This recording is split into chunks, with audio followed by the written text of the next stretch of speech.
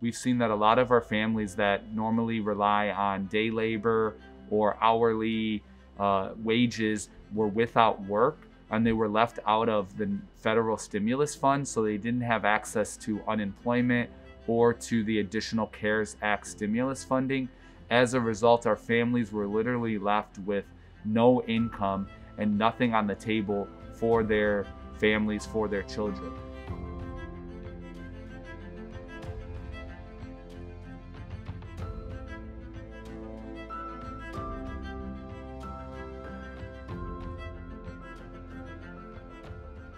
So it literally for our families was a matter of safety and of health that they had access to these resources and these items that Cradles to Crayons provided for free to us to give our families. And with the additional support from Cradles to Crayons, it allows us to focus on our mission of providing housing stability while also providing necessary and needed resources to these families so they have one less thing to worry about.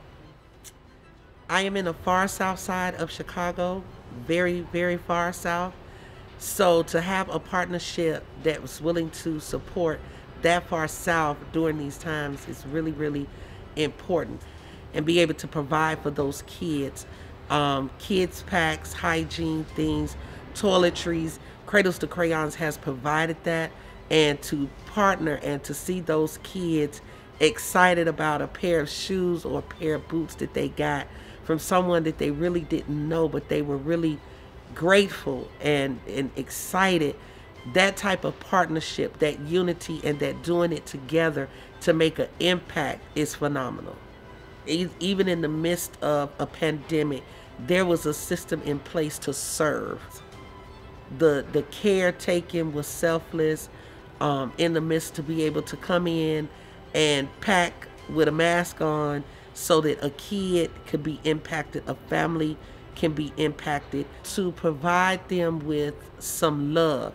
Even the way you guys package it is with love. You know, it's packed with unity and it's made them feel secure, happy, excited, and blessed.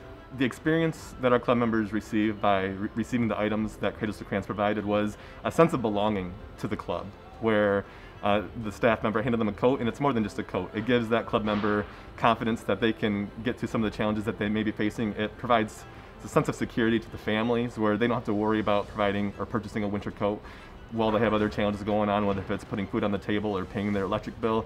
The clubs providing these essential resources that Cradles to Crayons has given to them has been a weight off their shoulders. So, as a child or even as an adult, you can hide most types of insecurities.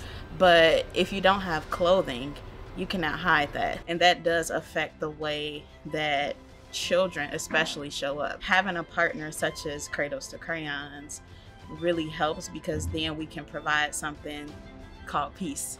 And that's you can't put a price on peace. But it it impacts the way that a child shows up to school. It impacts the way that they can learn. It impacts the way that they interact with people. So it's just, it's amazing. It really is.